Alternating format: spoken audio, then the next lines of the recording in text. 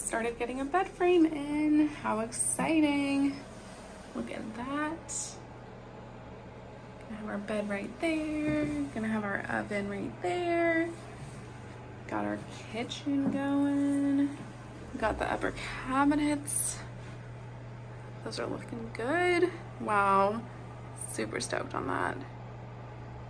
That looks great. And yeah, that's where we're at. I'm Jamie, and this is Dan.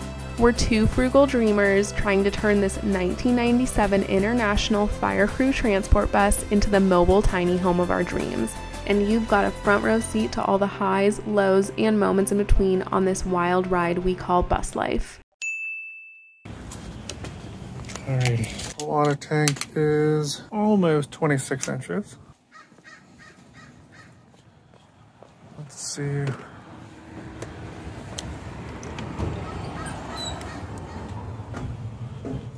Where does that fall in here?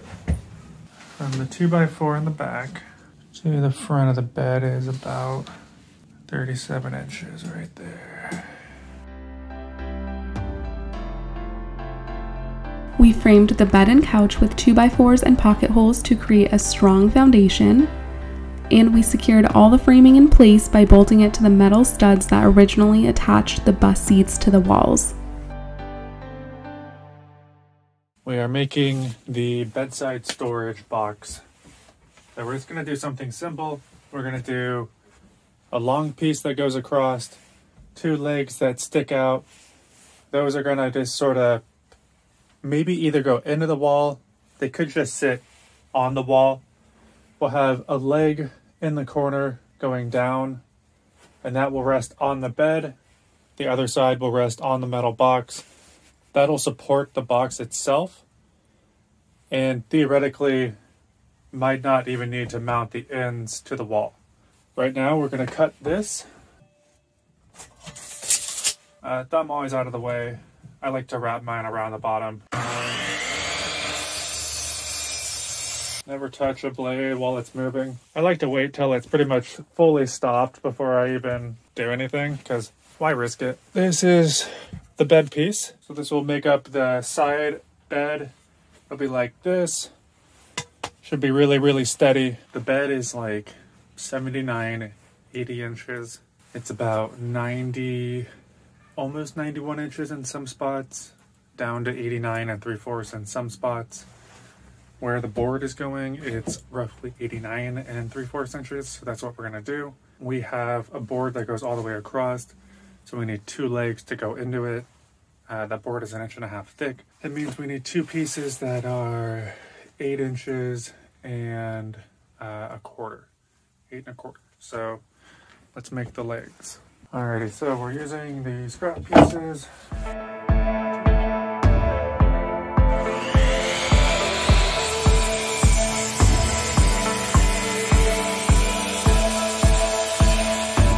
Next up, need to do some pocket hole work. Alright, whoops, forgot to record that, so show you the other side as well. So if you ever don't have a clamp, you can use your palm, just really hold it down, put your weight on it, turn the drill up to speed two. Pocket hole. I ended up buying a new one of these they fucking suck. This is the old one.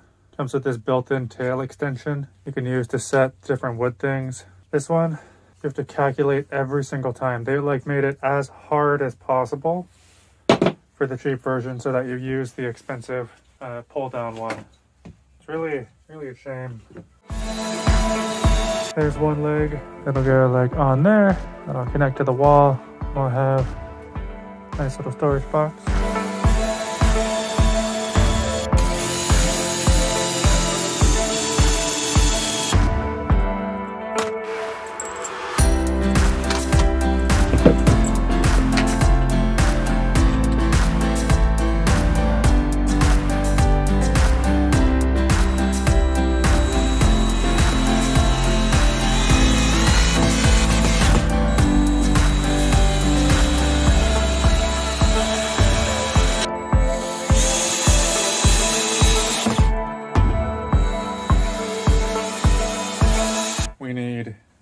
Legs that are roughly 19 inches tall. So we've got one, let's find another. So really, really good chance these are not the same heights. Oh, we got pretty darn close though. I'd consider that a successful saw. Next up, we need to do the pocket holes on these as well.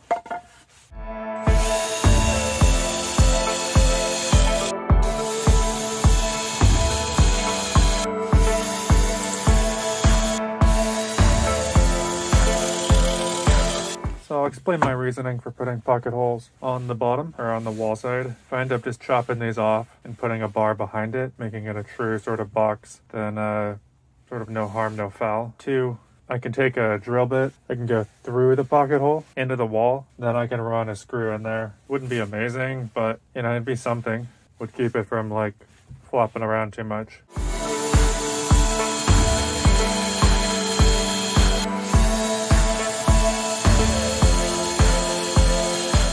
Are the legs. Done. Alright, so next up we need to actually put the legs onto the bar. So this is the bottom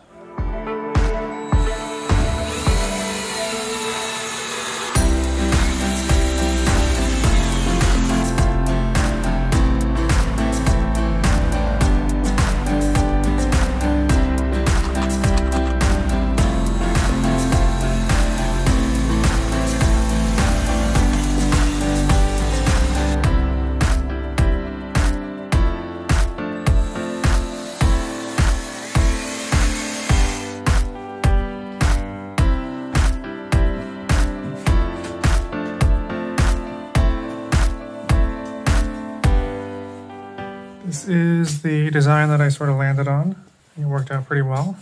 This will be flush against the wall. There should be about inch of space on top of it to allow room for any hinges and stuff. And it's nice and steady. The uh, 2x4 supports both both ends of the wood. So there's no there's no shear force on 2x4s in this case. And this will be our, our whole storage area. So probably convert this side into a laundry hamper. The water tank will take up about most of this. So I'll probably have a divider by the water tank, right? Tell me what you uh, what you think. Whoa! Wow!